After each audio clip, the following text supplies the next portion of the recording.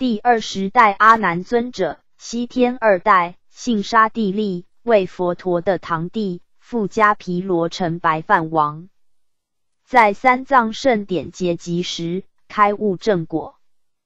文殊菩萨赞阿难曰：“相如秋满月，眼似镜莲华，佛法如大海，流入阿难心。在佛陀十大弟子中，被尊为多闻第一。”且女众能依法出家，全赖阿难尊者之力。有记云：本来无有法，无知亦无法，由各须自悟，法自无知法。